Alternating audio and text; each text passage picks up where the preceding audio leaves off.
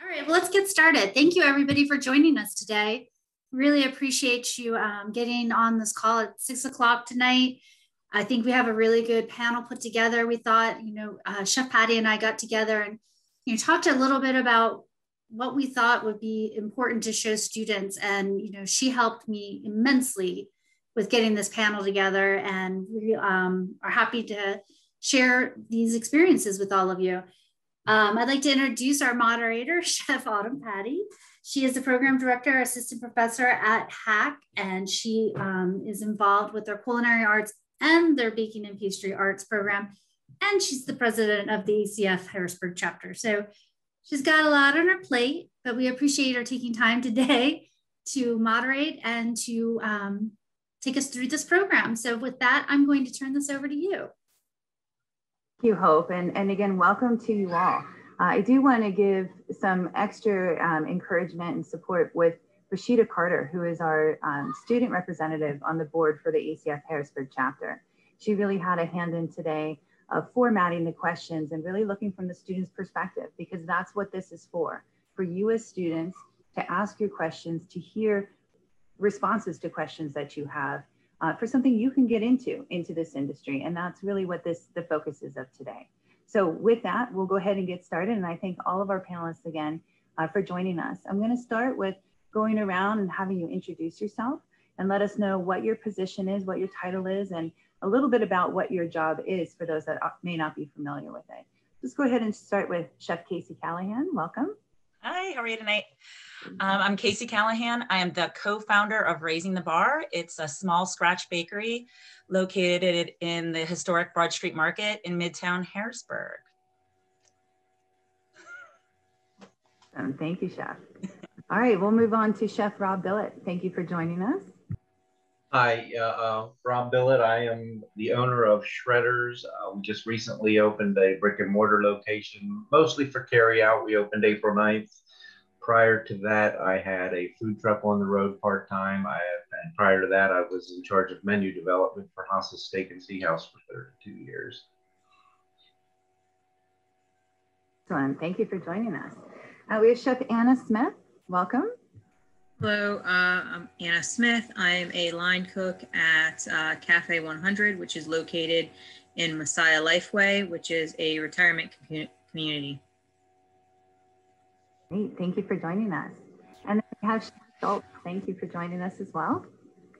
Hi, I'm Shana. I'm a registered dietitian um, with Giant. I'm at the Giant in Camp Hill, and at that location, we have a cooking school.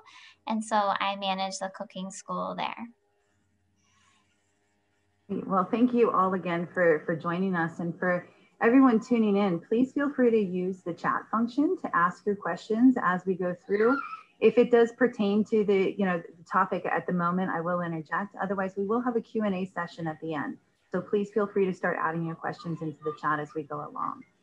All right, our first question uh, that the students formatted is really, what does your typical day or week like? And I say your week like because I know for you, Chef Casey, and we'll go ahead and start with you again. I know you're not necessarily Monday through Sunday. There's certain days that are heavier. Could you tell us a little bit about what your week is like in your position? Sure. Um, we are open at the market only on Thursday, Fridays, and Saturdays. Um, that being said, the market is open for 35 hours. Um, it's myself, my partner Tamisha, and we have one worker. Um, we will be open five years this um, July. It'll be our five year anniversary. Those first two years, it was just Tamisha and I. We did not have a worker.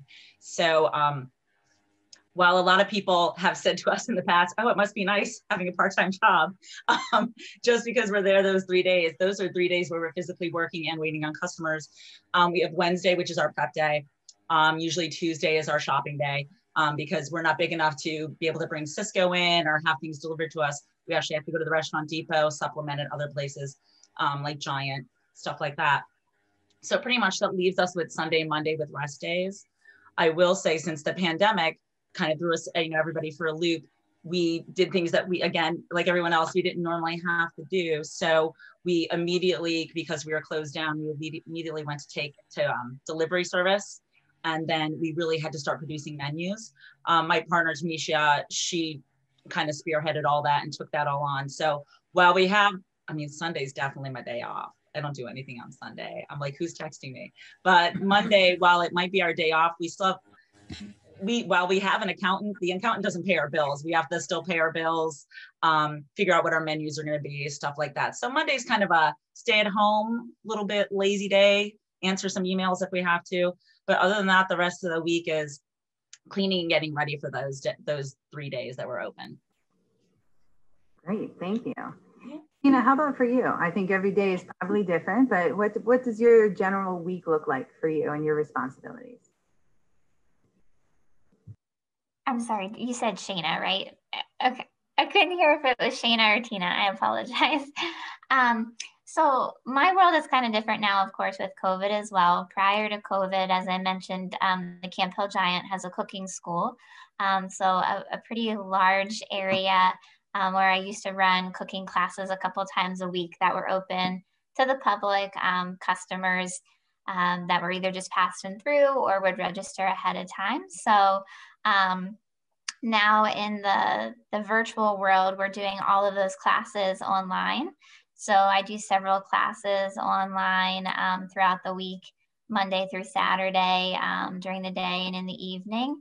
Um, a lot of them are cooking demo based, where uh, we encourage customers to make meals along with us. So, for example, Tuesday evenings, we do family meals at five, and we give everybody the ingredient list ahead of time in the hopes that they are just cooking right along with us and have dinner on the table for their family um, by 5.30 when we're done with class.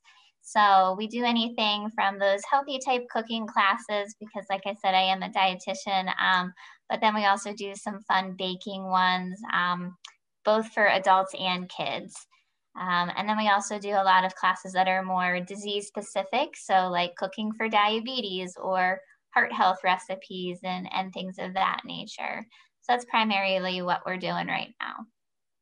So do you develop and conceptualize each cooking class or is there some sort of format that comes down to you? No, nope. So it's all up to our discretion. Um, we're now up to a team of eight dietitians. Um, so we've really expanded.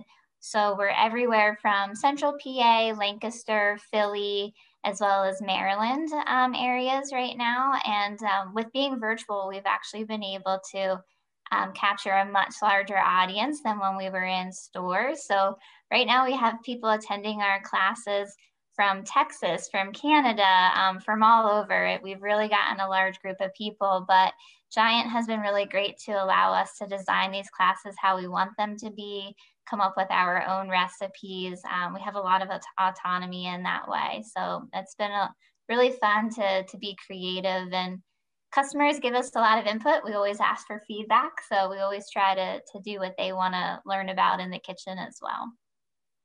Hey, and so that sounds like so many different moving parts. Is this a Monday through Friday gig for you or is each week completely different? Um, it's really different. Um, so like I said, I'm doing classes Tuesday night, Saturday morning, Thursday nights, and then like Friday mornings. It's all over the place. Um, and that's how it was whenever I was in store too. It, it was never really a Monday, Friday type thing. Um, Which is great to know. Again, this, this student audience here, I think may have that, that visual that, you know, that's a Monday through Friday, yet I think your position is a little bit more unique, a little bit more exciting, forgive me, but you know, in the new yeah. world, I think, you know, that's good to hear that there's some spontaneity and, you know, it's not the same every day.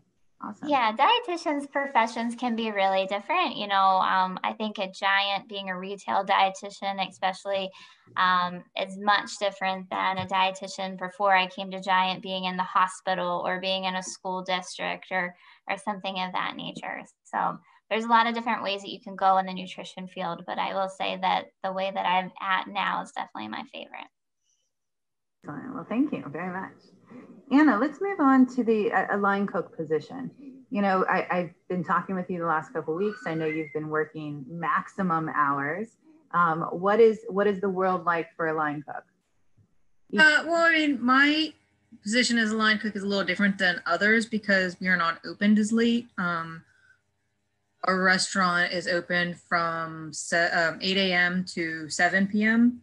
So we're not working as late hours, but uh, it is an open kitchen and uh, it is a mostly from scratch kitchen also. So it is a lot of prep and a lot of uh, cooking and interacting with the guests uh, daily. And we also have events that we do um, like two times a month at least uh, that is interactive. Now it is. It used to be because of COVID, it was takeout, but now we're starting to do interaction. We're doing a hibachi grill in a couple weeks and things like that. So like it's uh, it's very interactive from my standpoint and uh, busy. So you're at an assisted living facility, but you work for a contract management company. Correct? Yes, I work for Cura. And Cura I mostly do in assisted living facilities all over the country. Okay, so explain to those that may not be familiar with what a contract management company is. Um, the contract uh, management company is a company that manages all kinds of um, restaurants in other locations. So the location, which is for us, is uh, Messiah Lifeway, doesn't have to manage it themselves. They don't have to hire or um, con or They don't have to hire or um, manage any of it. They can just pay another company to do it for them. Okay, great. Well, and that's what they did. So they contracted out, and and that's what company is in there at Life or Messiah Lifeways. Yes. Curious, what um, are, are there any specialty diets or things that you need to be concentrated on, knowing that it's an assisted living facility, um, knowing your clientele and having the less hours? Is there any more um, dealings with with specialty diets that you have versus other? Not as much as you would think. Uh, there's another another building we call it like the, the medical building or whatever that ha- takes care of the this much more sick patients, the ones that uh, have had surgery or the ones that are, are you know having dementia or um, it's a full um, it's a full cycle of facility like uh, when you when a resident comes they first will live in a cottage or in an apartment. Uh, they are fully functioning. They're reti- just most of them have just retired. Some are still working. Um, and they'll live in those uh, apartments or cottages until they get sick or have any issues. And then they will move into uh, the main building we call it that has nurses and doctors and uh, around the top around the clock care and there is where you get more of the specialty diets um, Okay, great. So about how many hours are you working a week?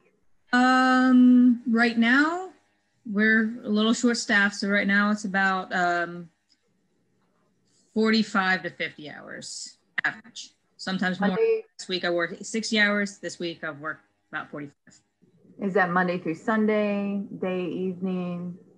um I mostly work evenings, usually 10:30 to 8. Um, sometimes I'll open, which is from 7 a.m. to, to till 3. Um, it just varies on the the week. Um, they try to give you every other weekend off. Right now, I'm not doing that more because there's only three of us in our kitchen. So um, to to avoid people working doubles on the weekends, I'm working every weekend. So the other two people can work every other weekend. Um, so I get two days off during the week. And So I'm hearing very sporadic shifts, and again, it could be day, morning, early morning, evening. yeah, I know you've mentioned that you're closing earlier than most operations. So in the past, you've worked a lot later, I'm sure. Then oh yeah, yeah. Like I, I worked at the Hilton before this, and um, line cooks there. We get off at like 12 to 1, depending, and they close at 11. And a lot of other restaurants don't close until later than that. So just one cook is very to feel sporadic. the life. Yeah. Thank You you. gotta love it. Yes. All right. Well, let's shift gears then. Rob, can you share with us a little bit about your weekly, um, you know, tasks in the world? I know Now we introduced the concept about, you know, the food truck and you talked about your brick and mortar now. So what does your general week look like?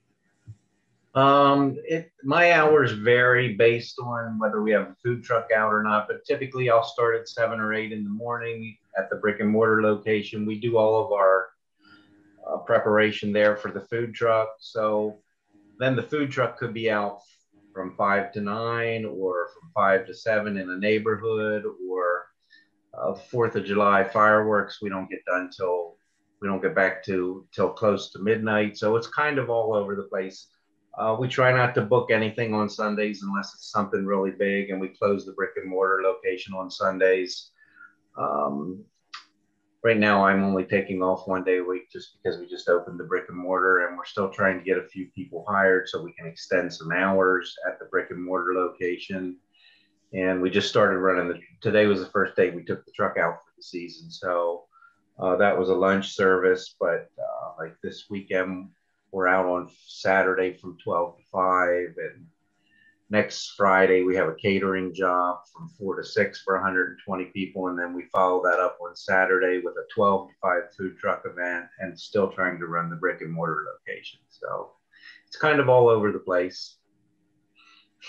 Certainly sounds like it. And, and I think this is a good intro into it. Why did you choose, into our next question, why did you choose this this career? Why did you, and I know you have a unique story, why did you open a food truck? Why then did you get your brick and mortar? Students are curious, you know, why did you choose this path for yourself? I, uh, I started at McDonald's when I was 15 years old. Um, so I started, I actually worked in a bar cutting grass and cleaning up in the mornings when I was 14. I went to McDonald's when I was 15. They introduced me into their management program. I ran a, I was a general manager for 10 years. Um, I worked for a franchisee, so there wasn't any opportunity to really move forward. They had three district managers, and so I started looking for something else to do. I ended up at Hoss's. I was a general. I was hired as an assistant manager, became a general manager after eight months. Ran restaurants for a couple years. I was a district manager for I don't know how many years, and then I was in charge of food development for the last five, just based on anytime we had a promotion or something going on, I was always the one coming up with stuff. So eventually they just said, hey, why don't you just do all of our menu development? So I developed products for the salad bar and every aspect of, of the company. I worked out of Hummelstown. I had an office in Hummelstown and that was my test kitchen. So moving forward, I, I opened up a food truck with a with a partner on the side just for something to do, just because we were always I, I love diners, drive-ins, and dives, and I love food trucks. So we decided to open one and we ran it about once a week uh, during the season. We probably do anywhere between 30 and 40 events a year. Then COVID hit, and you know what happened to the restaurant industry, and Hoss's had to close some restaurants. And I knew I'd be one of the first ones to go because there was no menu development, there was nothing going on, you know, and they needed to cut some cut some uh, weight off the top. So um, that happened to me and they were good to me for 32 years. I have nothing but good things to say about them. They had to do what they had to do. Um, I had the food truck, so I could have found another job or I could have stayed on unemployment. And I said, you know what, I'm just going to take this risk and open up a brick and mortar location, try and do more food truck events. And that's kind of where I'm at now, hoping to open another location here in September um, at the Hershey. They're opening a really big farmers market in downtown Hershey. Uh, so I'm hoping to, they called me and asked if I wanted to be in. So I'm hoping to get into that location as well. And then we'll go from there, but have to find some more people. so I, I, may have, forgive me if I missed it, but um, what, what got you initially interested in the industry all around? I know you started at McDonald's, but what what drew you to this industry? Um, well, my brother was a manager at McDonald's, so I knew it would be an easy job to get. So I got that job, and I just really liked it. Ended up in their management program, and then when I got with Hoss's, I've always loved cooking. I mean, I've been a I've been a at home cook. I probably cook 95% of meals at home. Always have. My dad did. So I've always been drawn to food. And then you know, it's just one of those passions that you either love it or you don't. You know, not everybody is cut out for the restaurant business, but if most people who are and are in it really love it. I agree, absolutely. It's great advice for students, making sure that you are passionate about what you're doing. Excellent. Casey, let's let's my same question to you, and let me repeat it: is you know why did you choose this career? What got you interested and started in it? Specifically, where you're at now. What what got what what interests you and got you started in the career? Um, I didn't go to culinary school till I was 23. I, you know, I had the whole regular college route.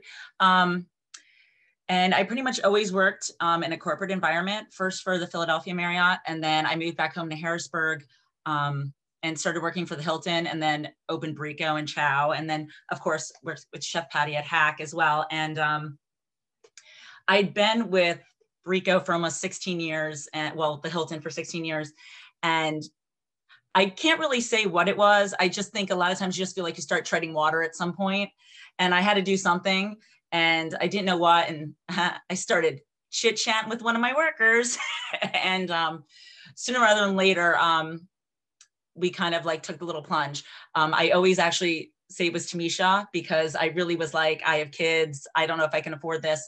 And Tamisha took me for a walk at the Broad Street Market and like bought me coffee. And I was like, oh, this seems amazing. And we did it. We really did jump right into it. Um, I don't know if it was the brightest thing to do, but um, we just, I don't know. We, we just kind of went for it, but we felt confident because well we both had a very like long history. Like you know she had over 10 years i had oh my gosh 16 18 years. Um, so we knew the food wouldn't be the issue. We knew we were going to provide um, midtown harrisburg with something they haven't seen at the market before and food they were really going to enjoy. Um, just like Rob was saying, like we, you know, we're very passionate about food. We don't make anything or sell anything that we don't love. So if a recipe isn't working or we're like, ah, that's just an okay cookie, we don't sell that okay cookie. Um, we sell what we really, really like. And while I still have a love for like corporate um, kitchens because you do have menu development and um, seasonal changing menus and that's so fun that's fun as well. I do like that at this point in my life it really is down to me and tamisha. Um, and we're very like-minded so um, usually whatever one likes the other one does as well. It's it, we don't really butt heads too much on actual ideas. Um, but it's it pretty much was just we took a chance and you know we had a goal where we wanted to be in five years and we're coming up on that five years and even with covid we think we're going to reach that goal um, of having um, our own space. And but it it took a lot of hard work. I will say it was more mentally stressful work though because when you are working corporately or you're you know you're working for someone else that's someone else's money. I mean really you just get the paycheck. Um, even though i always still had my heart invested in it. It still always felt like mine. Um, it is somebody else's business. Sorry. Somebody's mowing their lawn. Um, so now it's it's all your own. So if you're if you're failing, if you're not making budget, if your if your refrigerator breaks, it, it's you, and that is definitely the more stressful part of it. Um, no longer do I have stress of coworkers and people above me, so that's nice.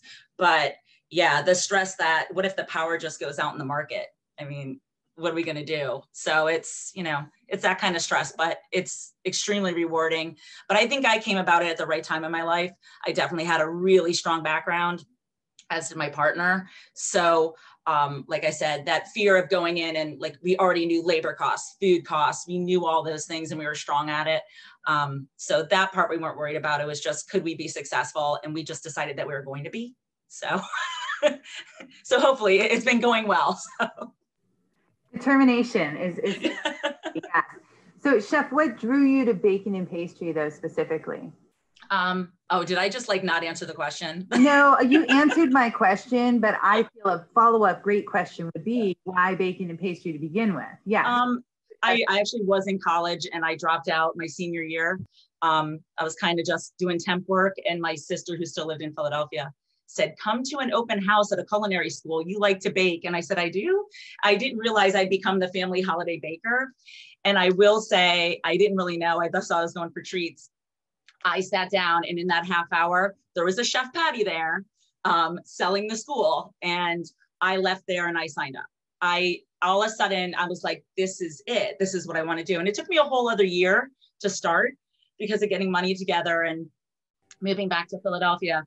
Um, but I have not had, I mean, there's been some tears in the walk in. We all have tears in the walk in, but I've never had a doubt that, like, when people ask me, is there anything else you'd want to do? There really isn't. I like, I really going in every day and baking is, I mean, that's the easy part. It's, you know it's fun I, i'm very lucky in life that i have a job that i truly truly enjoy that's awesome i don't think you've ever told me that story i wish i knew who that chef patty was because they they really turned a phenomenal pastry chef out of oh, it. oh thank you. You're you're amazing at it autumn. I always just say talk to chef patty talk to chef patty. That's why everyone comes my way. Yes. Well that's awesome. Excellent. Great great. Thank you. And, and Sheena, how about you? I mean, what drew you to, to be a nutritionalist? And I'm sorry to, you know, but I know as the chef world, it's like there's got to be something that draws you into the nutrition aspect. How did you start? Well, so I'll say in, in the beginning, no, there wasn't. um, I when I went to college, I had no idea what I wanted to do. I went to Virginia Tech, and um, they had a really good nutrition program that I heard about from other people, and I was like, okay, like I'll I'll give that a go. Um, after college, you have to do a dietetic internship. Um, and during that time, I spent time in clinical nutrition, um, food service, the retail world, a little bit of everything, and ended up with a clinical job after that. Um, I worked over at the Carlisle Hospital um, for a good couple of years um, on the floor, seeing patients, and um, also in their weight loss surgery center over there. And I just got to a point um, as a clinical dietitian that I just I felt like I wasn't making as big of an impact as I could. Um, I really like to cook and bake personally at home, and um, so then started exploring Giant a little bit more from my internship ties, and um, then was just kind of able to go that direction and, and have the job that I have now. Um, and it's kind of interesting because a lot of folks that I know that were clinical dietitians now refer their patients to me at Giant because I'm in the grocery store where like I can take a patient or a customer and show them in the aisle like you have diabetes. This is a good product for you to cook with. You have you know high blood pressure high cholesterol. Like let's look at what we can put into your menu at home. Um, like i'm right there that i can i can do that with people whether it be in the store or through the classes that we do now. Um, so I'm just feel like i'm able to to bring to life um, different nutrition recommendations a little bit more by being able to show people things in the store as well as showing them how to cook with those things I, I think that's extremely important because as that's how i describe you as a nutritionalist that loves to cook and is excited about it. You make it fun to, to learn about and to hear about these different um, nutritional facts. I'll just keep putting it that way. Uh, that's that's great to hear that you could still bring that that cooking enjoyment, you know, to your job, and again make it more. It sounds so much more interesting than that clinical, you know, nutrition position that you were talking. So yeah. that's, that's excellent. Great, awesome, thank you. And Anna, how about you? What what got you started into and interested in the in the cooking world? Uh, I've always cooked. Um, I think I started cooking when I was about seven. I think this was the first time I learned how to make hot dogs and things like that. But I never really realized that was where I wanted to go in life. It's just like I always did it when I started working. Again, McDonald's was my very first job. Um, then I worked at Hardee's and things like that. Um, but it wasn't until I moved to this area and um, I got a job at uh, JDK Catering um, to where like I really realized, you know, you can make this a profession and a career out of it. Um, and I worked there for five years. Um, and when I was there was when I started um, HACC for um, culinary and pastry arts. And from there, I um, I've worked a couple other places. I worked at the Hilton. I worked at Devon's, and um, I still go to back to JDK every once in a while and help them out, just because I do love the catering aspect. Um, and how I got into this position, I was working at Hilton as a supervisor, and the, pretend, the pandemic happened, and we got all laid off And I realized that I still wanted to work in this field, but I needed the security. You know, what if this happened again? Um, so I started looking around and I knew Chef Clark and they were hiring. So I said, I'll give this a try. Um, because we are feeding people on premise, we got to stay opened. Um, so it was all pretty much takeout at the time, but uh, we're still working, um, benefits and everything. So uh, that's where I'm at. So I heard because of the pandemic that that you switched gears to that assisted living, and, and I think that was really where a lot of the job market was when we went into the pandemic. Those that still needed to be fed. It, it wasn't so much you know the restaurants, but you've worked in catering, you've worked in a hotel, you've worked in freestanding restaurants that were a franchise of a large corporation. You've so of all of those, you know, is assisted living a, a, spot for you, or do you have sites for, you know, a certain area maybe as a line cook that, that would be a better fit for you? I, I promise. Well, I don't know if Chef Clark is listening, but I'm hoping not. I'm putting you on the spot. um, for now, this is where I'm going to be. Um, there's a lot of security here at my age. That's kind of what I'm looking for right now. Um, five years down the road, I see myself possibly owning a food truck, actually, um, going that route um, and catering. But uh, yeah, this is a good spot for me right now. We can, I, we still do events and um, still do from scratch kitchen uh, work and everything. So uh, it's it's a pretty good fit for me. Excellent. Well, I'm going to lead in the next question that I feel all of you have answered at some point, but if we could just you know, hone it in a little bit for the students. Um, what education did you need and experience did you need for the job that you have now? So I know a lot of you have talked about it, but just to bring it right, right to a point here, Anna, to get your position, what education did you have and what experience did you need in order to get that position? Uh, well, uh, culinary degree for one. Um, I don't know if it's strictly needed, but it is preferred. They do, uh, you do have to do a um, test, like a, a cooking test uh, to get the position. So you need to learn how to do the the work under uh, pressure and everything that you do learn. Like at, at HACC, it's kind of like a final exam. Um, and uh, just having previous line experience is helpful, but it's not necessarily needed. Um, like Colin, he didn't really have much experience, and he's, he's doing really well in one in our other restaurant. So, um, how about sanitation and safety? Did you need to be certified in order to have your position? Um, you did not need to be certified. Uh, they do have classes available there to uh, take. They offer that uh, to get certified and everything. Okay, but it's not mandated. No, it's not mandated. In the main kitchen, it is. In the uh, in the hospital side, it is. But since this is we're technically just a restaurant, it's not needed. How about any preference to being ACF certified? I know you have your certified culinarian from the ACF. Was there any uh, preference or any preferred on application regarding your certification? No, was never asked or anything. Um, I know Chef Clark, uh, before the pandemic and everything, he, the company was paying for him to go to like nationals and to do all that, but it wasn't, it, they don't um, focus on it. Which I hope to try and uh, improve, but you know, I just was curious if there was any any form of uh, recognition to your to your certification because I know that was something you got as you graduated, became a certified culinarian as well. Is excellent. All right, Rob, how about for you? Any education? Uh, I know you talked about the experience and, you know, but how about just for the food truck itself? You said that was several years ago you opened that. What experience and education did you need in order to start a food truck business? Well, to be honest with you, I'm I have no formal education other than a high school diploma and ServSafe certification. I'm all self-taught.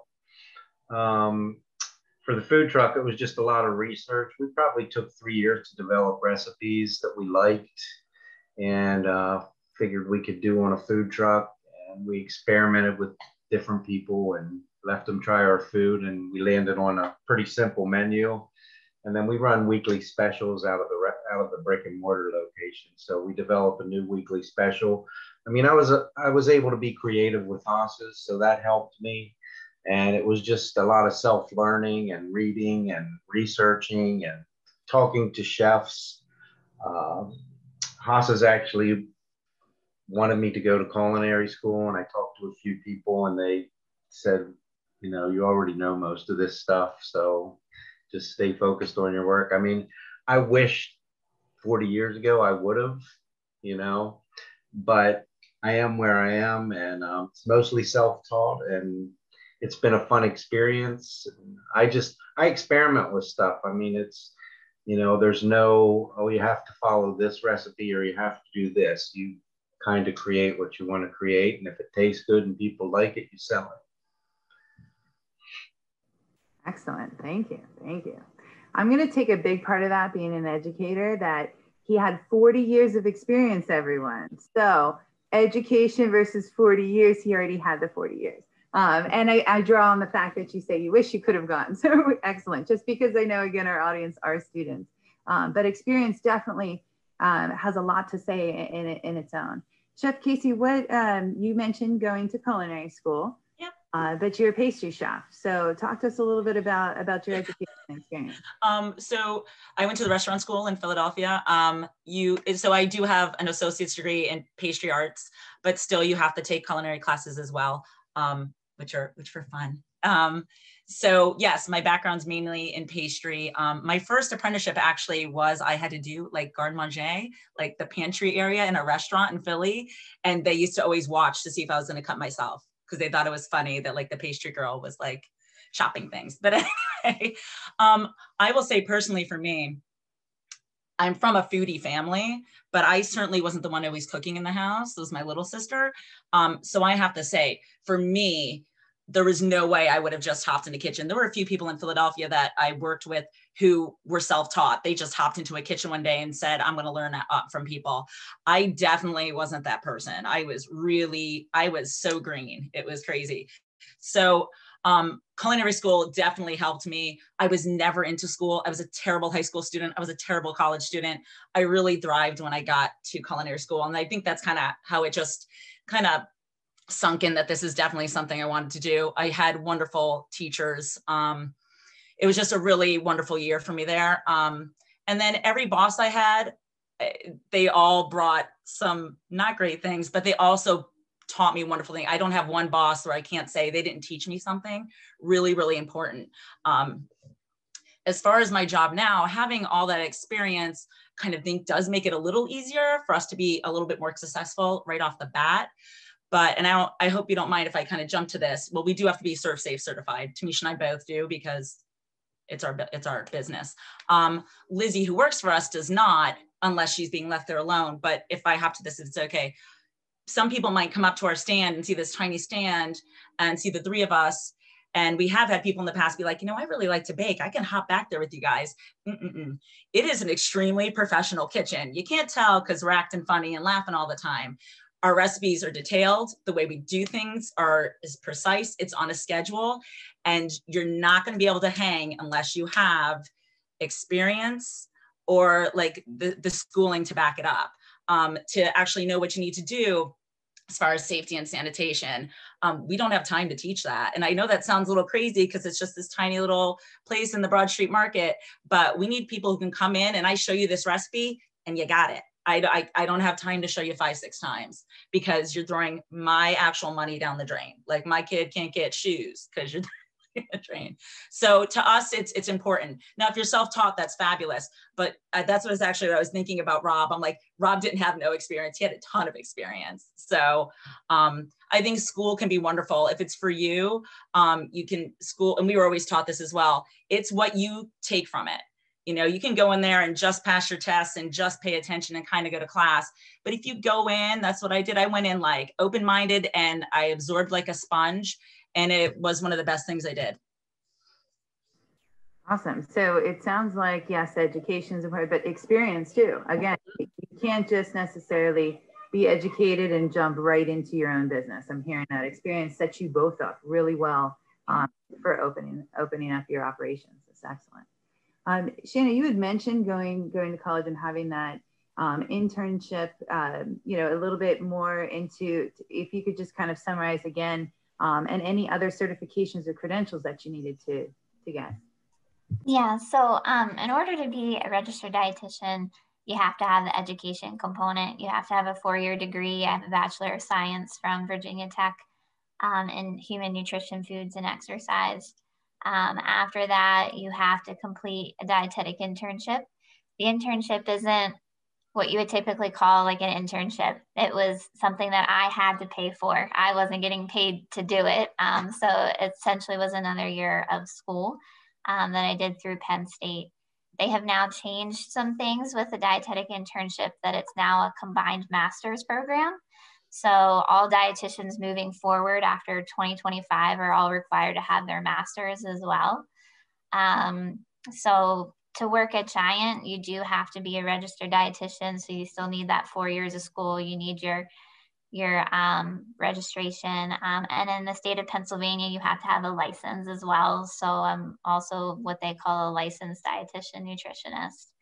So you have to have all those things to do what I do um, at Giant specifically. And with the cooking element, um, did was Giant looking for any sort of culinary background or ServSafe certification for you? Um, so not not a giant. When I did work at the hospital, actually, most dietitians who work at hospitals are under a food service contract. Um, so I did have to be ServSafe certified there um, at Giant, um, I feel like they kind of just have this expectation that dietitians know how to cook.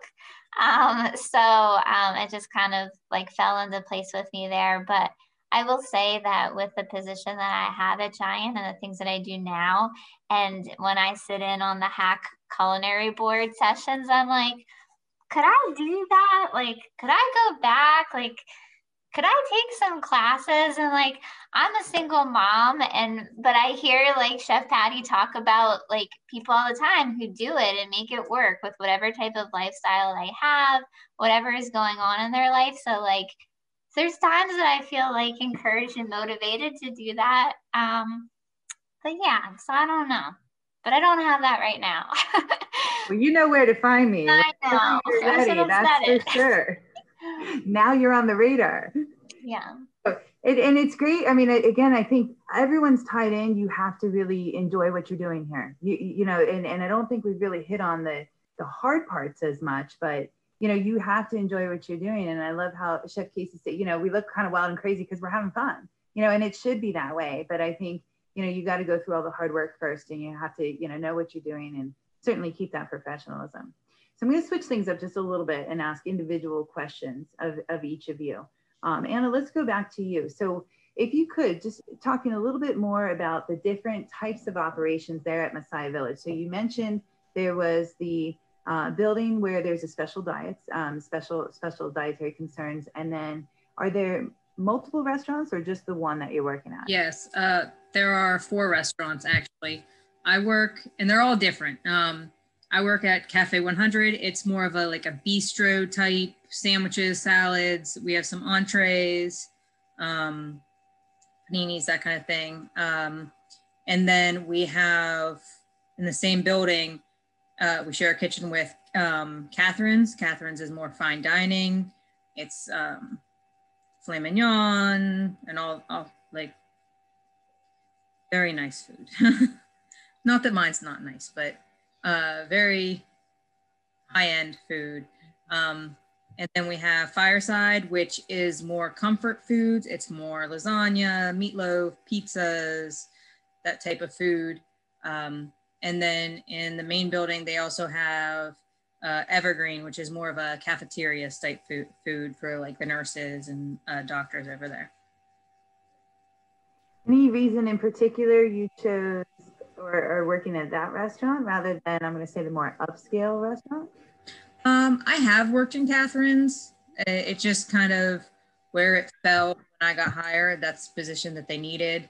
Um, I've been trained over in Catherine's, and I'll go over there sometimes. Um, but for the most part, I can handle the um, cafe by myself. So that's where I am. Any room for advancement for you within that, that operation? Um, yes, there's uh, sous chef positions that I could uh, go up into. There's also Cura is national, so I could become a chef somewhere or general manager, or yes, there's uh, plenty of advancement. So with the contract management company that's nationwide, you're saying you could transfer to other accounts within the mm-hmm. awesome, which is just another another aspect that maybe you wouldn't think of with the contract management company. Great, thank you. And a question for Rob here next. Um, so students are curious how, with you getting started, again, let's think of uh, either the brick and mortar or, or, or, the food truck business. What really was involved both with the business legal aspects, but also the financial commitment, not necessarily the dollar amount, but you know, how did you forge kind of your game plan to get started, um, dedicating the funds as well as, you know, your knowledge and overall game plan?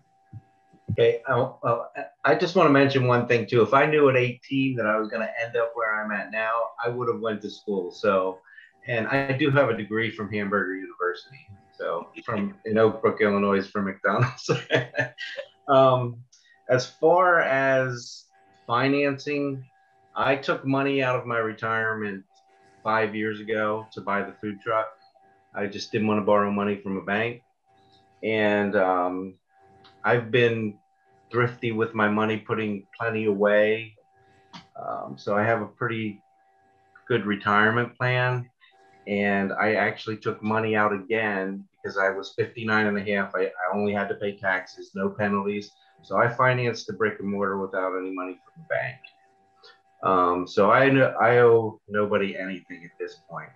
Now, if I move into this other location, I may try and get a small bank loan, but I'm hoping I'm in a position with the money I have in the bank from shredders that I can finance the farmer's market as well. So I kind of did it all on my own, but the banks are willing to give you money if you can write a good business plan and you can tell them that you make money. And I didn't have any, I didn't have anything to take to the bank with food truck because we only did it part time and we were kind of putting the, all the money back in, not really showing a profit at the end of the year because we were we were working towards getting a new food truck.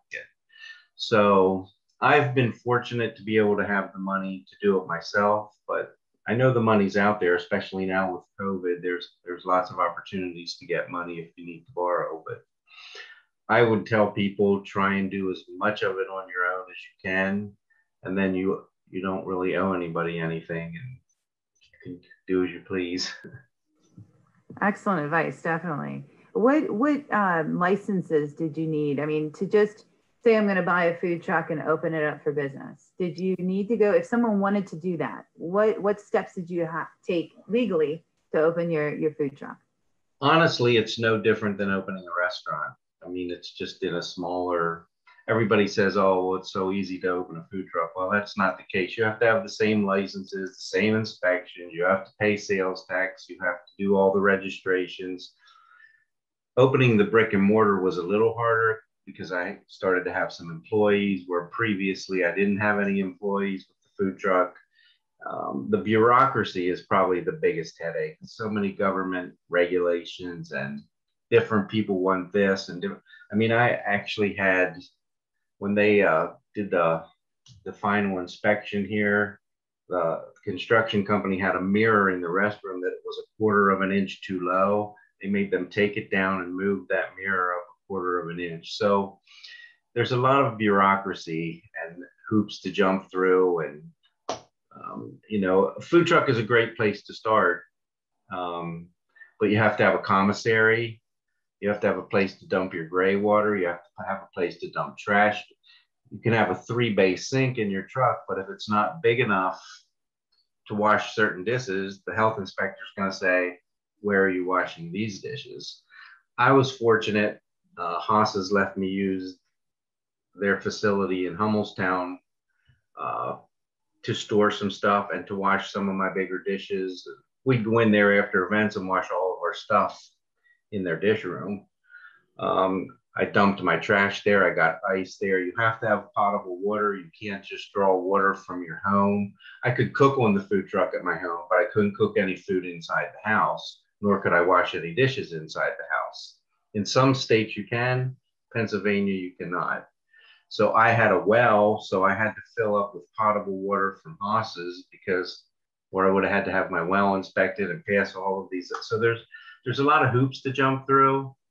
Um, but you kind of learn as you go and figure stuff out.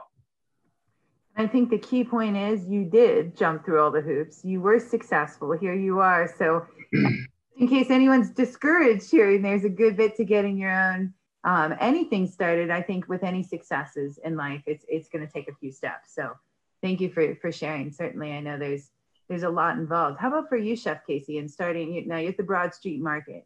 Mm-hmm. Um, what was involved with you starting your business, you know, with the financial aspect as well as those legal aspects for you? We took a small loan and it was really small. Like it was one of those we can walk away and this won't buy, won't be a problem loan. Um, and was just so we can afford um, our build out, like our stand and our major equipment. So the mixer, the refrigerator, the freezer, those expensive items. Um, the floor had to be ripped up. Tamisha and I ripped the floor up ourselves. We were like, $2,000, we'll just do it ourselves. That was fun. Um, so we did a lot of, a lot of things hands-on, decorative wise, anything we could do on our own. Um, I will say one of the things Tamisha got involved with really um, early is looking through, I, and I forget if it's through the city, I think it's through the state. Um, there are mentorship programs um, for people who want to open small businesses with the state. Um, and they can kind of and obviously just going online there's it's a lot not easier now but can imagine like pre like google how you went about all this but you know there's actually checklists exactly what you need and again like different because we're in this we're in the city versus um, out more in the suburbs but even now um, we had to inspection wise to open we just had to be inspected by the food inspector. Now the new thing coming from the city is as we go to open another space, you have to now be have your I think it's the electric, um, but your plumbing has to be inspected by the city as well. So instead of just getting your food person to come in like they do twice a year anyway, now you have to get your plumbing and your electric done as well. So those are expenses. Those things take time. I mean, say you're thinking of opening in July. Well, you better start making those appointments now because who knows if they when they're going to come in and inspect you. So that could even push you back. So you think you're opening in July, but the guy's like, I can't check your plumbing till the second week of July. So you can't open. So those things are things you don't ever really think about because when you're corporate, you don't have to worry about it. Um, just getting the right licensings, like the mercantile license from the city, um, getting your EIN number, your employee um, uh, identification number set up so you can pay your taxes. Um, one of the best things we did, and we didn't do it till we had an employee, is we got an accountant. And um, they're wonderful. and now we pay ourselves. but um, when we got them, it, it, was great because prior to that, you know, come tax season, Tamisha and I always owe taxes. And so, you know, we pay that little bit for the accountant, but in the end, we're getting more money back ourselves. Um, things are definitely a lot more on the up and up. We're not panicking come tax season that we don't know what we're doing and then paying somebody a lot of money to do our taxes. Um, so a lot of people say that you need a lawyer right up front. We didn't use a lawyer. We used LegalZoom to um, register our, um, our, our business name, Raising the Bar. Um, we just paid a one-time fee with them. I know some people have a lawyer right away. Um, I think going forward, we're going to need a lawyer. Um, but definitely the accountant was helpful. But yeah, if you're willing to do the work, and Tamisha, I said, um, her part in this partnership is she's great with paperwork with stuff like this she'll dig down and she'll find everything. So um, she's found any grants in this past year, any any free money. She's been sending out word all, all year. So um, it's yeah, that that's when I was talking about earlier about um, some of the mental stress. It, it's more of that. Like I, she told me the other day, she was, "We have to get our plumbing inspected." I'm like, "Why do we have to get plumbing inspected?" She's like, "It's a new thing," and I'm like, "Yeah." And like, how do you even find that out? I'm like, I mean, it's not how she found out, but you know, we probably would have found out as we went and started building our new place. And then it's just one more fee, one more person to contact. So that's the parts where I find it stressful. And you know, you're mentioning several different things. Anything with um, insurance? Did you have to have like oh. insurance or? Yeah. Um, so insurance, yeah. um, I just, I did what I thought was right at the time. And I went to the person who I do my car and my house insurance through. And I said, Sharon, can you help me? And she actually walked me through everything. And it, it's actually a, and you know and I've heard of businesses that don't have it. And we pay so very little for so much coverage. Um, I like I make jokes about it, like you know, lighting a fire. like we, it, it's it's so worth it. That little bit we pay twice a year um, covers so much. Like literally covers this entire business. Um, if anything would happen. So yeah, that was right off the bat for us as well. And now the the market does. Um, they do need proof of insurance to run a uh, to run a business. You know, they have a historic building. It's been open, I think, 150 years continuously. They don't want somebody burning down their building. So, yeah. Yeah, I, I, just threw that part in there because I think we talk a lot of times about the licensing structure. I know the Small Business Association, yes, has tons of mentorship uh, programs available in all different areas throughout Pennsylvania. Uh, but it's important to also realize that that insurance liability as well that uh, that we need to have coverage for. So awesome. Uh, I want to shift gears slightly and move to the purchasing topic. This is something that students are really interested in. And, and I'll, I'll switch to you here, Shana, for a little bit.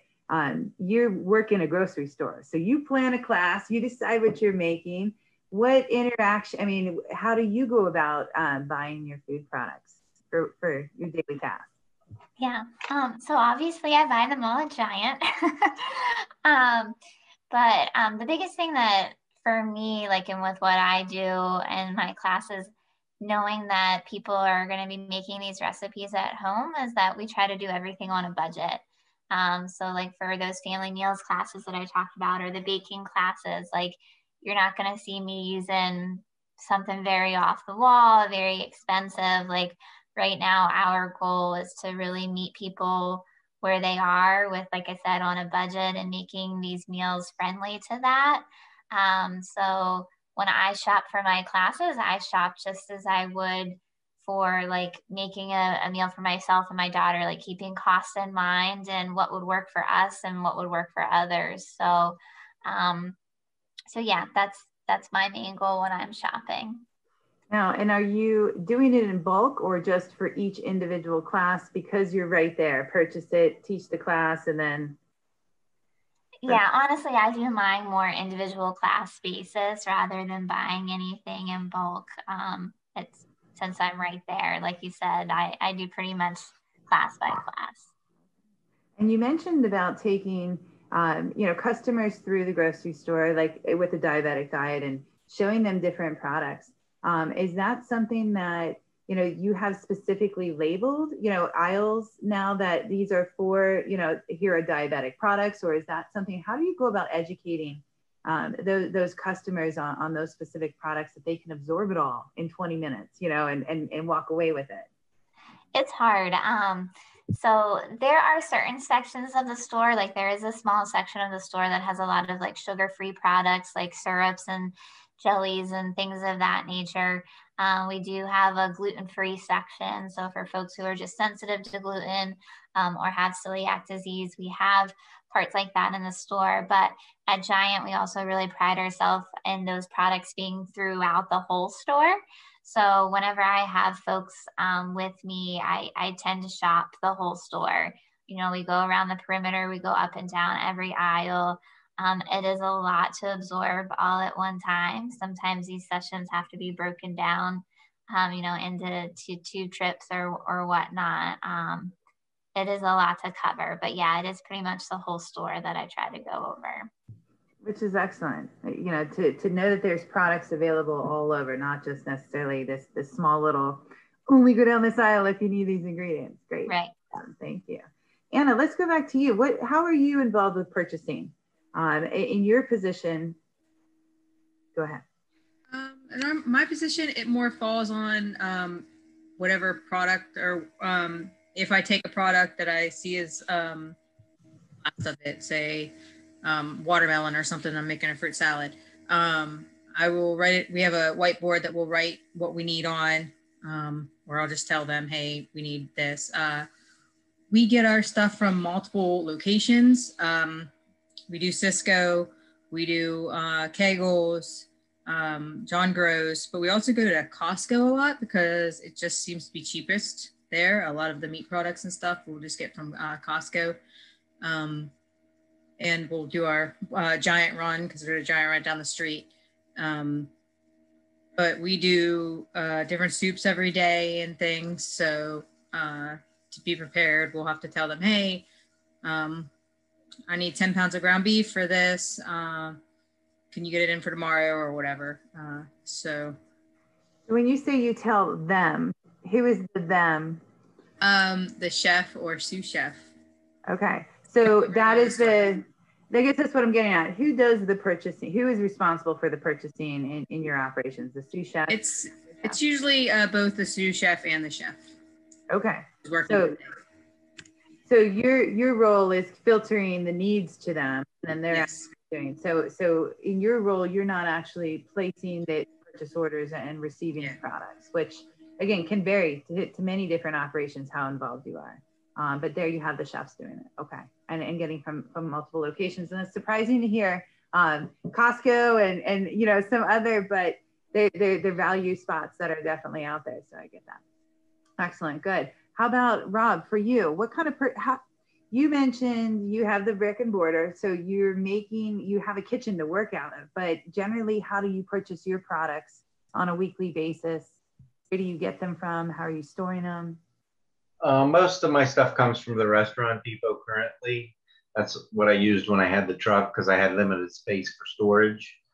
Um, so currently, I probably go to the restaurant depot twice a week, but I'm working on setting up with Sysco or uh, any of the other multiple companies out there. I'm just trying to find someone who will deliver here. And I sent them my inventory needs, and I'm waiting to hear back. So, in, I'm hoping I'll get to the point where I can have someone deliver but if I find really good deals at the depot on pork is a big thing that we sell a lot of pork butt.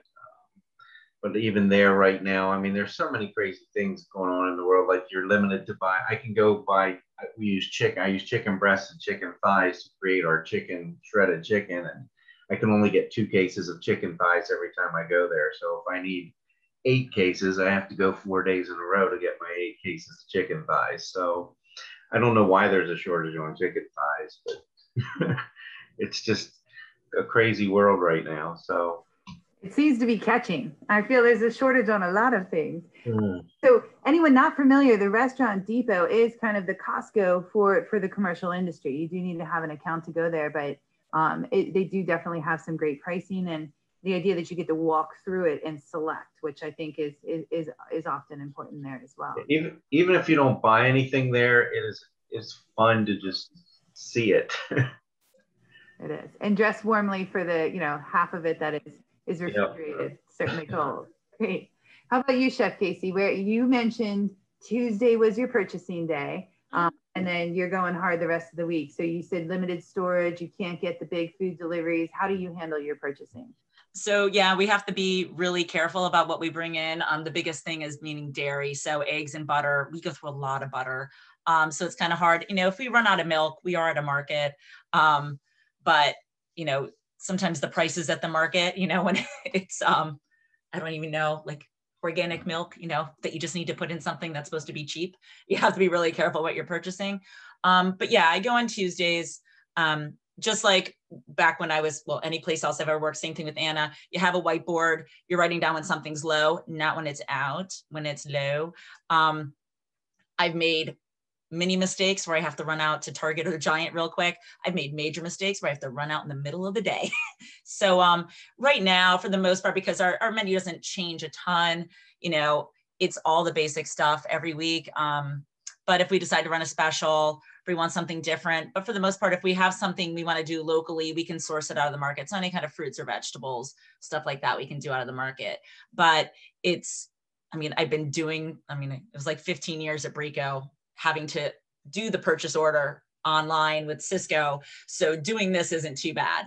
It's only if we just miss that obscure item that you don't use very often. I will say Costco is the cheapest price on almond flour that we have found. So I have to send my mom to Costco for me. um, but for the most part, yeah, we use the restaurant depot because it's it's the best thing available to us at this point because we can't afford a Sysco delivery. But yeah, we have to be very careful. We get down usually by the end of production, we have about two to four pounds of butter left. So if we screwed up a chocolate chip cookie dough two days prior, we might not have enough butter to finish our croissants for the weekend. So it's really important that we're we're tight with everything. We make it work. So not having very much storage, I'm thinking, I'm envisioning like, you know, 200 pounds of butter you bring in on Wednesday because you only make like 600 croissants over the weekend, right? Something like that. Oh no, it's like no, not that many. I wish if we made that many, I'd be relaxing. I thought I was on point with that. No, no. So you you come back with all these products. You only have a small upright cooler. Yeah, like the bottom of the like we have the double refrigerator. The bottom is just eggs and butter and that's all it is. Um, so a lot of times people are just like, you need to make more food. You know, we start selling out on Saturdays. Um, you need to make more food. You need to make more food. Well, we have to mix our bread the day before, and the dough has to sit in the refrigerator. We physically can't put any more product in unless we bought another refrigerator, and there's no space for another refrigerator. So we really, I think, if somebody came in, like people who are already in the industry came in and opened our fridges on a Friday night, they'd be like, "Wow, how do you do this? Like this is impressive." We call it Tetris, the Friday Tetris you know, getting everything. We literally have bread doughs balancing on things. Um, yeah, so it's, I mean, we have, so that's why like sometimes we don't, we'll reuse things. So like our kolaches might have cheesecake batter and strawberry jam in it, then another dessert's gonna have strawberry jam in it too. I can only put so many jams in the fridge. So we have to kind of play around like that, make it work, make it happen. yeah. Well, cross utilization. I yeah. feel a lot of students have learned. That's from. the better word for it. Yeah, yeah. All right, great. So um, I have two more kind of pre pre put up questions just as a reminder and check on time. About seven minutes after seven. So again, if anyone has any questions to add into the chat, please feel free. I have no problem continuing asking questions the entire time, but we would like to have your questions if anyone does have some. All right, moving on. The next subject was really how the pandemic changed what you do. And I think uh, you've all touched on this in some aspect um, overall with you know changing the direction of your career making different adaptations. And i think that's what we're looking for specifically not so much um, how your career changed but maybe what are some things that changed in the last year within your position based on the covid pandemic? And what things do you think will continue to be here? Um, i'm going to say when we're out of it. I'm going to make that plunge. When we're out of it. So uh, I'm sorry, Anna, let's go ahead and start with you. What have you noticed over the last year other than wearing masks? Um, well, where I work, uh, one thing that changed drastically, I, I, wasn't there when it, we didn't do it this way, so I've just heard about it, is uh, now we get a lot of pre-orders. Before it was a lot of walk-ins. Um, people just come in when they're hungry and get food. Now uh, because of the pandemic, when we closed our doors, it was all pre-orders. They all had to call by a certain time to be delivered at, we have like two delivery times in the evenings, uh, four or 5.30. Um, so now people still do that, which is great. I love it because now you know how much uh, we can prep ahead of time, uh, how much food we have to pull from the freezer, any proteins or anything. Um, and it just uh, since i'm the only line cook i do it all i do all the sauces all the, the meats i make all the sandwiches salads and everything it's nice to have the stuff all my ducks in a row um, so that's something that's changed a lot um, also uh, catherine's the fine dining restaurant they don't do walk-ins right now it's all you got to call in and make reservations or uh, pre-order your meals by like three o'clock so they open at four. They know pretty much what they're going to do for the, whole night. Um, if it's a big party, they have to pre-order. Um, things like that. That's uh, the most things. And uh, it seems like because it's, even though we're open to the public, most of our uh, clientele are the people that live on pre- premise and uh, they're older and they're pretty much set in their ways. So they now will continue to pre-order. They are happy with that. So it sounds like that made it more efficient on your end with, you know, again, yes, in sales, it was a lot easier. You didn't just have to do that. You knew exactly what they were ordering as well. So, yeah. and a lot of them order the same thing every single day, or um, you get to know them. So, you know, you're saying, oh, you know, they got the omelet yesterday, so they're going to get the Belgian waffle today. So, all right, great, great. Uh, Rob, how about for you? What what has changed in the last year, and what do you think will will stick around here after COVID? Well, for me, um, working in the food truck is horrible. Wearing a mask, it's hot, it's unbearable. I carry a couple masks in the truck and extra shirts um, when we opened the brick and mortar, we focused mainly on carry out. We have online ordering, we have call in ordering, we have people walk in as well. We only have two tables. Uh, so we kind of force everybody to take it with. There's a few people who dine in, but we've really focused on that. I think at some point I may get into the delivery, but the fees are ridiculous. And unless you, you know, then that's a whole nother hoop to jump through if you del- do delivery on your own. There's insurance and cars and background checks. And so it's just, but I think delivery, carry out, all of that is probably here to stay. I mean, it just seems like people like to order online, have it already paid, just come in and pick it up and they're done. The other side of that is the credit card, you know, if you're with, I'm with Square, you know, if somebody comes in and swipes their card, they charge this fee. But if somebody orders online and they have to manually, they charge twice as much on the fee. So you have to think about all that stuff when you're pricing and doing all all those kind of things. So um, I I don't know. I hope the masks go away soon. you know, uh, I think people will probably wear them in the winter cold and flu season's around. I think people will probably still wear them. I know one person who will not you know. But like I said, working in the truck is is crazy with a mask on. So prior to COVID, did you have any pre-ordering system, or that was developed because of the need, right? Yeah, we um, if we do like a high school, you know, we'll go in. I was just at Dauphin County Votech today. The teachers they have a food truck every Wednesday. The teachers come out, they get their stuff. I set up pre-ordering with some places like that so they can pre-order, give us a time, pay, and and then come and pick it up.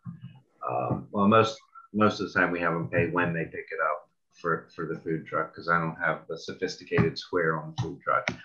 But um, yeah, so the pre-ordering, you know, I think people will like that. Even even running the food truck, you know, this past summer during COVID, you had to put cones out so people were six feet apart, and but food trucks thrived during this, and I I think people found that they like food trucks coming into their neighborhood. You go in for a two hour shot, hit a neighborhood, everybody comes out. Some they have little block parties and they social distance and they sit around in the park and eat and talk and get together. I think those things are probably here to stay for a while. Excellent. Yes, our, our student representative that again kind of formed the questions here.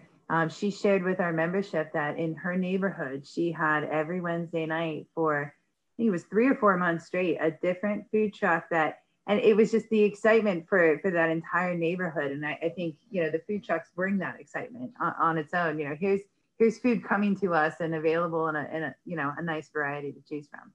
Sure. Um, Shana, anything that changed for you other in COVID? Well, a lot had changed for you in COVID, certainly. Um, any highlights you'd want to share with us? Um, not in particular. Like I said, it was mainly just our transition to doing everything online. Um, and we were very unsure as to how that was going to go, like if people would even be interested in it. Um, and we started off with those classes only having about five to 10 people, and now we're having upwards of 80 to 100.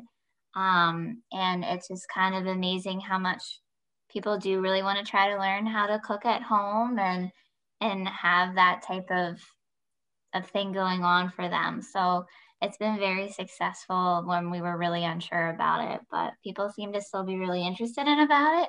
We're not sure how, like, if that's going to continue when things do start to open up more, if people are still going to be interested. So we'll see how that goes. But yeah. I think you have a lot of credibility with the idea that you're cooking in a healthy aspect, but yet you're relatable to a lot of individuals. You know, sometimes in a chef perspective, and here's what I'm making. Yeah, that's a little too fancy for me. Like Chef Casey just blew through that croissant. What? What did you just make? You know, and I think you you bring that that relatability to it. And again, the idea that what you're showing them to make is a healthier option. I think a lot of times that's attracting people as well. Um, you know, come into a class versus being able to catch it online. Uh, do you feel on your end, as long as there is a demand for it, that, that those online classes will continue or more so in person? Um, it sounds like we're probably going to end up doing a hybrid of, of both. Um, but we, like I said a little while ago, we feel like we are reaching so many more people by doing them online, which we couldn't do in store. So I kind of feel like like it's gonna stay stay both. And and I do some of these classes at the cooking school in Camp Hill, but I do a lot of them at home. Um, so I think that that's kind of another thing that people like about it because my classes are so regular and I have so many regulars. Like people have kind of become a part of my home, like and and my family. And they, I mean, you guys see Verity right now. Like everybody, all these hundred people in my classes know Verity and and everything like that. So um, I I think it's just kind of created like a sense of family that we didn't necessarily have in the store, um, which has been really neat. Yeah, excellent. I, you know, I'm really trying to pull some of the positives that that we've, you know, explored over the last year and what we can continue with, um, and certainly, you know, go back to also. Chef Casey, what you mentioned takeout. You know, obviously, you know, you had to shift to takeout and, and ordering. So talk a little bit about what you were impacted by and what things you think are gonna gonna stay after? Um, like everyone, I'm sure that first month was startling and we weren't equipped to do deliveries at all. Um, which it was just me and Lizzie doing deliveries. So we were kind of going all over um, where normally we never leave the building. Um, so again, that was just really stressful. And of course the, the numbers aren't there. Um, but Tamisha Im immediately went to using an online store um, through Square um, where before you either ordered right in front of us or you shot us a message on social media, um, which didn't happen a lot. And people usually just came into the market. So it took a while for people to kind of grasp that we had the menu up every week, what time it went up, what time you stopped orders. Because, um, you know, a lot of people just think, you know, we're not the Olive Garden. You can't order 20 croissants at midnight and get them the next day at 8 a.m. It doesn't work that way. So um, it took a while for people to catch on to that. Um, and we kind of just stopped the store um, around Christmas. We were able to like transition out of it. Enough people were coming back into the market, but people have gotten really used to now messaging us um, because we don't have a website. So they they've gotten more comfortable messaging us. They look forward to seeing the menus. So I, I wouldn't necessarily use the word that we thrived, but we weren't hurt as much, I think, as some places were. Um, and I think a lot of that is, and we do try to stay positive about it. I think a lot of it is kind of like the food trucks going into neighborhoods. Although we couldn't be near each other and we were all distancing and all that, I think it did bring a more of a sense of community though in the small areas we do live, which is nice. Um, people really came out and supported local and small businesses. People we didn't even know were like great customers in the market. We're getting people to order kids from people from my kids' school. I didn't even know them. I they're not in my kids' grade. They're like, we know you're a business owner with the school. So they bought like a bag of goodies for like that were like $50 but like for five different friends you know and, and, did stuff like that. So i what i do like to think is that maybe like neighborhoods and developments are getting together more as a community where before everybody was just busy running out to soccer games and doing all that. So but the online store without that square online store we would have been a mess. There'd be no way for us to get orders in. So tamisha hopping on that right away saved us i think And do you think that'll stay? Yeah, yeah, it's it, it's really nice, especially at the holidays. Um, hopefully, once we open a new space, we'll have a website and everything. But um, yeah, the the stores it's pretty simple to use. Um, it's easy for her to change it up every week. Um, you plug it in there, like this is how many croissants we have to sell. So when they're out, they're out. You know, we don't have to monitor it to make sure, oh, it's getting out of hand. It's just like, hey, how many cake orders do you want to take this week? And we just plug that number in. So it's nice. I've seen many times where you've posted all sold out, you know, and, and I'm thinking, all right, going home, Take it all and hand it all out, right? Exactly, exactly. That's awesome, awesome. All right, I have another question here, which uh, may take us to the end again. As if anyone does have questions, make sure you're funneling them in. I've been kind of, you know, interjecting throughout. So it seems like every student wants to know if you had you know the opportunity what would be your your largest piece of advice to give those student that is looking to go into your field so chef casey while we have you someone that's looking to open a bakery what would be your best piece of advice for them Um, just do your research about where you like, you know, in my case, it had to be in this area. This is where I am. It's where my family is. Tamisha lives downtown. We knew we wanted to focus in Midtown. Get to know your neighborhood, who's in there. Um, is the food style you're going to do going to work? Um, is there a place a block away? um, so yeah, those basics of get to know who you're planning on selling to and how you're going to reach those people. Um, check everything out what what you're willing to do and what you're willing to put into it i'd even say this just with the job over the years in teaching and even just having people come in as interns and and meeting workers over the years is people really still think i don't know why baking is like i wake up and i decide when i'm going to bake that day. Like i'm in the mood for cupcakes. Um so it's it's very frustrating that people don't understand that like when by the time you're 30 you have back problems and your knees hurt all the time um, that it's long hours on your feet constantly. And especially if you're going to have the business i'm sure rob can back me up on this the mind never shuts off. So even when you have the sunday off you'll see something that reminds you of something and you're laying in bed thinking pork and you can't get out of your head so i would just research what's in your area is it going to fit what you want to do? Tamisha and I knew with our list of items we want to do, there wasn't a lot of scratch scratch bakeries right downtown. Um, we do everything from scratch. Um, and no one made croissants from scratch that we were aware of. So that was one of the things we wanted to hop on. At the time, there wasn't a lot of people doing fresh bread other than the place we were leaving.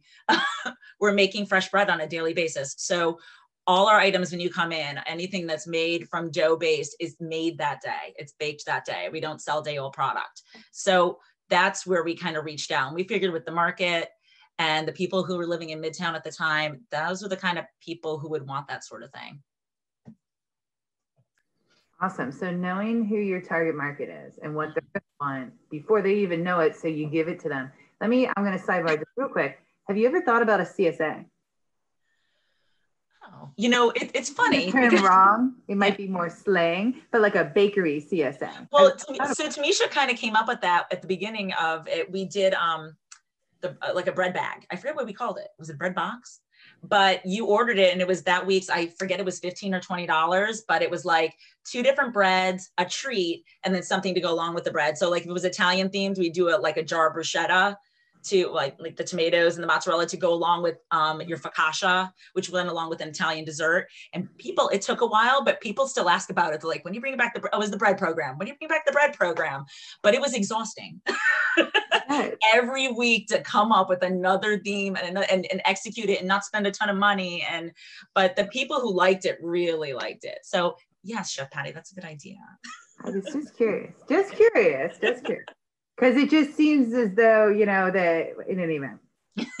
Out there but excellent. So again knowing who your target market is and, and i think i preach that just about in every single class. Know who your audience is and deliver what they want not just what is your favorites you know and i think that's that's crucial definitely. Thank you. And uh, best piece of advice to a student that was in your shoes not that long ago wanting to go into a line cook chef position what would be the best piece of advice you give them look around, search. Uh, there are so many different avenues you can go into, whether it's catering or just regular line cook or being in a facility, uh, facility or something like that. There's so many different. One place you just might not. Might, you may hate and you think, oh my god, I can't do this. I'm just gonna get out of the business totally, and then you, you know, try another place, and it just you click there. Um, there's just so many different. I mean, you might not like working with fish, but you might find out that you like working in a fine dining or something like that. I don't know. It's just, it's, there's just so many different ways to go and try them all. so explore the different, different avenues and make sure. And I know what we heard about earlier was find something passionate about and, and mm-hmm. something you enjoy doing. So really explore, and, and I think that's what's great about a lot of these educational programs is they they have you dabble in a lot of different areas and, and, and get experience in those areas so that you can pick a path.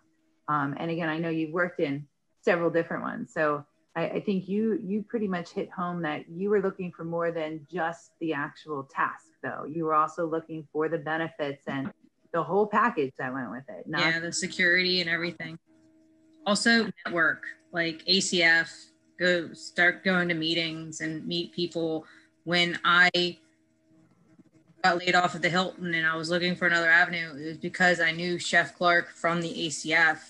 I also worked with him at the casino, but I wasn't like directly working with him. So it was more through the ACF that I knew him um, and was able to make the connection.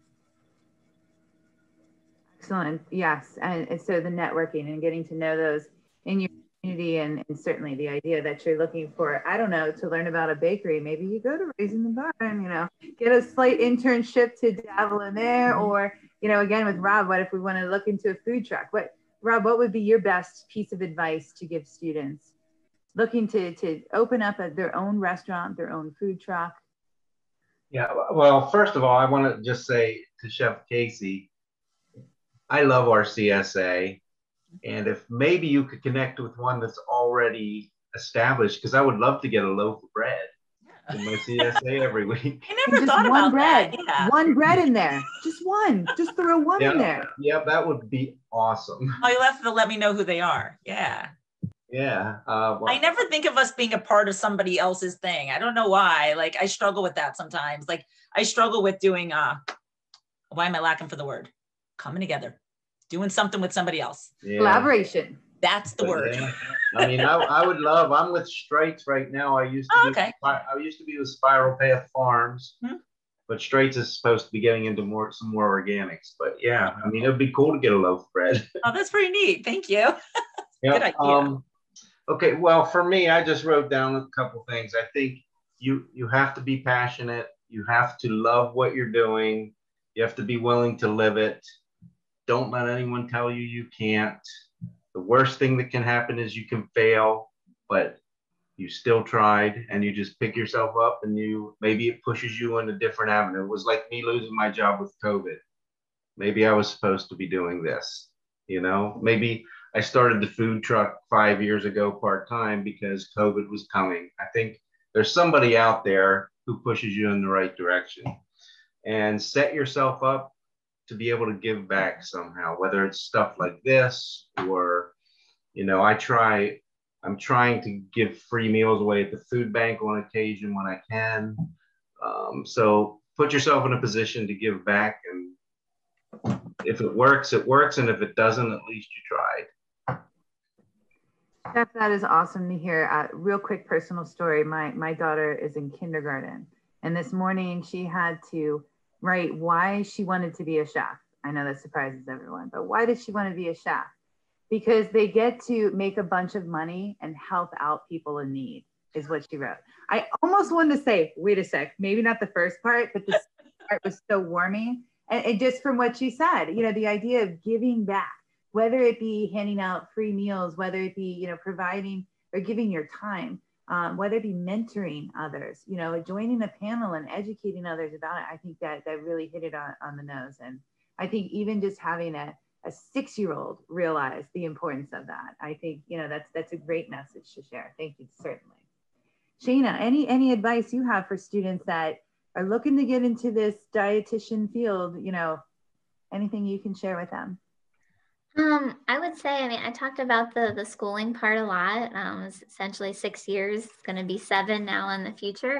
Um, and I would just say, like, there's always like the light at the end of the tunnel when it comes to school. There were so many classes that I was like, I don't know how I'm going to get through this, you know, things of that nature. Um, but at the end of the day, like getting that paper and whatnot was was worth it. So that way I can do what I I do now and kind of what you just mentioned that your daughter said, like I feel like I've, especially in the position I'm in now, I can finally help people, um, you know, bringing food to life in their kitchen. And I wouldn't have been able to do that had I not continued to go through the schooling that I did to get here. So just to keep pushing through, even when you don't want to. That's excellent. You, you all brought up such such great points. I, I really do appreciate it. Hope I know we've come to the 7:30 mark, but I, I know we recorded this. Students can review it. Um, again, I really appreciate all of your time. I think all of the responses were great to give students a really good look into these positions. realistic positions that after graduating they can go and do themselves. Maybe some of them are thinking now I need a whole lot of experience before I jump in, or let me go work under this person, or let me, you know, shift gears into schooling, or again, you know, what kind of experience. But you all brought so much to the table, and I, I very much thank you for that. Hope you want to close us out? Well, I want to thank you, Chef Patty. My goodness, the questions that you put and the work that you, you know, working with the student at your school, I think it just, it was invaluable um, um, insight for us to be able to present.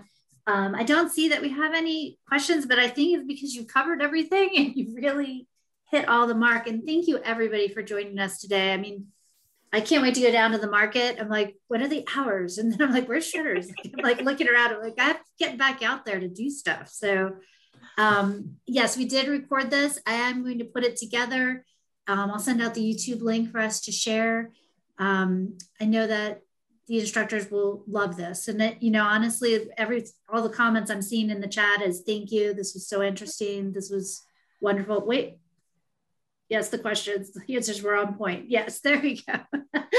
so I think that they're seeing that you know you really covered everything, Chef Patty. So um, with that said, we are at at 7:30. I, I appreciate everybody's time. I hope everybody has a good dinner tonight and has a great rest of the uh, week and weekend.